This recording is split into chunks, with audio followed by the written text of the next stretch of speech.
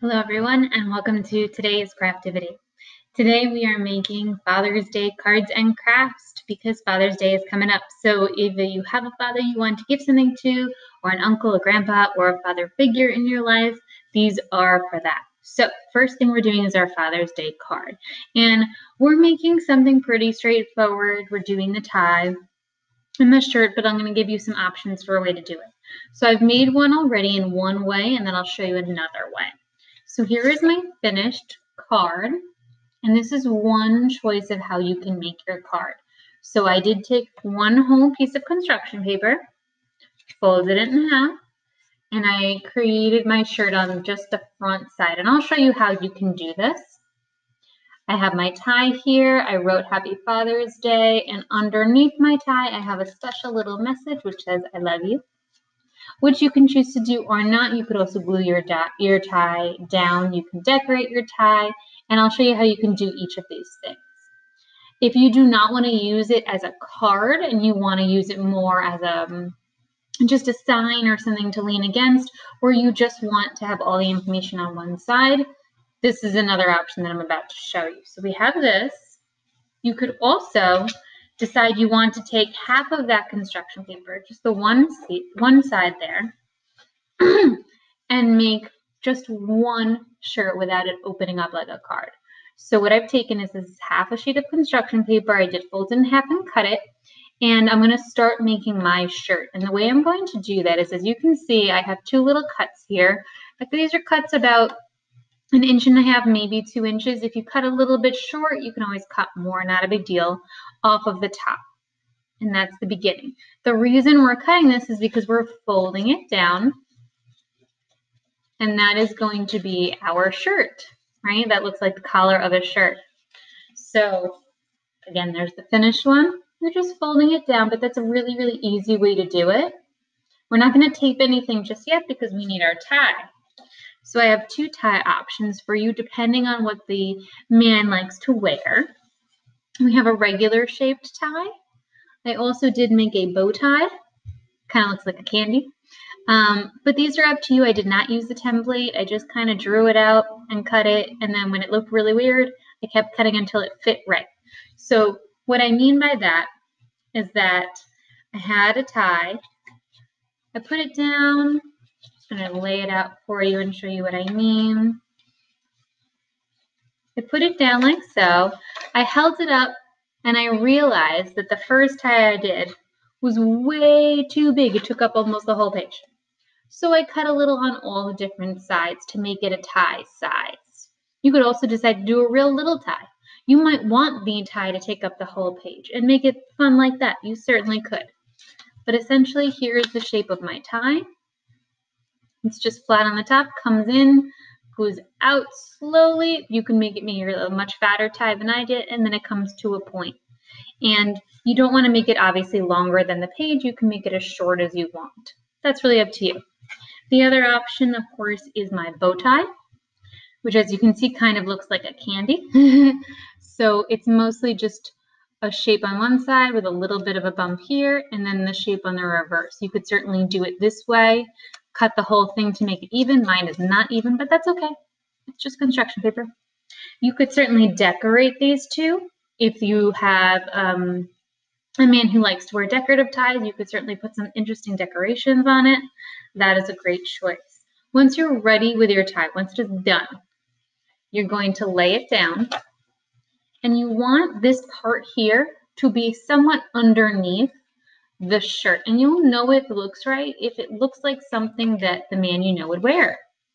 So most of the time when we see a tie, we don't see that part on the top. We see this part. So that's what I want. So right now I don't have glue nearby. I actually have double-sided tape.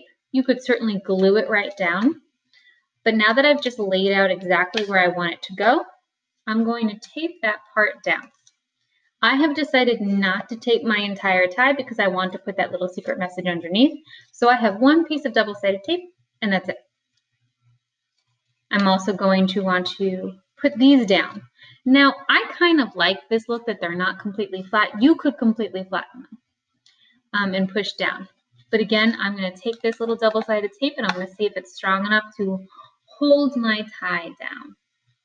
I'm sorry, hold my shirt down, my tie.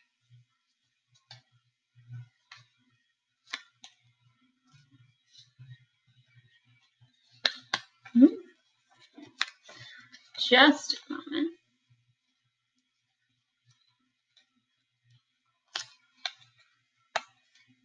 Need a little bit more tape, which is okay. That's why we're practicing this, right? So we want it to look nice once it's done. And again, if you make a mistake, it's just construction paper. You can pick it up. You can do it again. Alrighty. So I have my shirt. I did actually make a tiny little mistake there, which I'm going to cover with something fun. And as you can see, it's not super flat, which I like personally. Um, now you can take a look at what I've done here. And I actually have very, very little buttons that I had saved, which I'm using as kind of the buttons that a man would have on his shirt, right? So you could use buttons, you can draw buttons, you could use a gem, you can use whatever you have at home. I happen to have these and I think they're really cute. So I have a couple more little black ones that I'll use for this one. And I'm going to put one right there and one right there. You could certainly decorate your tie with them too, paint the tie, color the tie, whatever works for you. And then you're going to write Happy Father's Day, or maybe there's something else you want to say. If you've made your tie really big, you could even flip it up and write Happy Father's Day underneath it.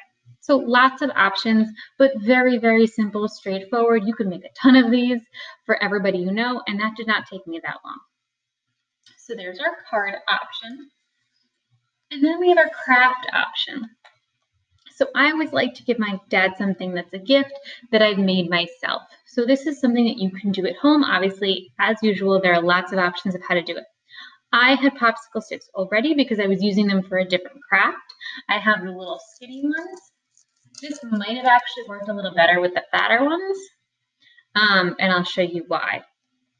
And the idea is 10 reasons I love you. Now, we say I love you all the time, but it's always nice to give people a little bit more and really take time to think about what we appreciate in that person. So maybe it's, I love that you teach me how to garden, or I love that we go and buy grades together, or I love watching movies and talking about our favorite parts. You know, whatever it is that you love about that person, here's a chance to kind of share it with them, and make them feel really good. So you're taking, if you use popsicle sticks, you're taking each one and you're going to color it a different color, or you might decide to do kind of a pattern Maybe you'll pick the person's favorite two colors. Let's say their favorite two colors are green and yellow. Do every other green and yellow. It's going to look nice once we're done. I didn't do that. I ended up doing rainbow just to show you what it looks like. So you can, again, choose which size you want, but you want 10 popsicle sticks because you're doing 10 reasons why I love you. And then you're going to need one more popsicle stick kind of for your title. So just to do that section, I have here my 10 reasons I love you, and my 10 popsicle sticks. So again, I did little popsicle sticks, so I'm going to be using a pen, a dark kind of Sharpie skinny pen to write on them. If you chose the larger popsicle sticks or want to do this on paper, you can obviously write in marker a little bit bigger. So each one of these sticks, I'm going to write down one reason why I love my dad or whoever I'm choosing to give this to, right? You can write a one on each of them, um, one, two, three, four, five, six, seven, eight, nine, ten, or you can just write it out. But again, here we go. So they knew exactly what it's for. As I mentioned, you don't have to have popsicle sticks. You can do this on construction paper. Maybe you want to take a strip of old different colored construction paper or take white, color them all different, and then tape them all together in some sort of way. And again, you can decide how you want to attach them. You could glue these together. Um, it's a little bit more time consuming for the purpose of the video. I actually use tape. I had kind of a strong painter's tape. I did one piece of tape and it is strong enough. Paper popsicle sticks are real easy to work with. Um, and the last thing that I decided is I want to hang this. I want it to be something that my dad could put on his door or maybe could hang in his office or something like that. You might not want to hang it. You might want it to lean against something or be like a frame. So I have this kind of rope. You could use string, you could use lanyard, elastic, doesn't matter. And I wanted it to hang. So as you can see, it does. And what I did is I actually just taped the back of it. Um, I might go back and put some glue so it stays a little bit more. But that was really enough. It's very lightweight. It's not going anywhere. And I have this really nice gift to give to somebody once I add all the reasons I love them. Again, you don't have to do the hanging part. You could certainly do another option. You can decide what you want them to do with it. You think it's something they want to hang, obviously you want to have some way for them to do that. Lanyard might be another great option. Um, but play around with it. If you know you make a mistake, your popsicle sticks, you'll use another one or use paper, whatever you have at home. Um, but either way, we have our two activities. We have our first card and we have our gift for our dad, uncle, grandpa, whoever it is that you want to celebrate today. And I hope for all you dads out there um, that you have a wonderful Father's Day. Thank you.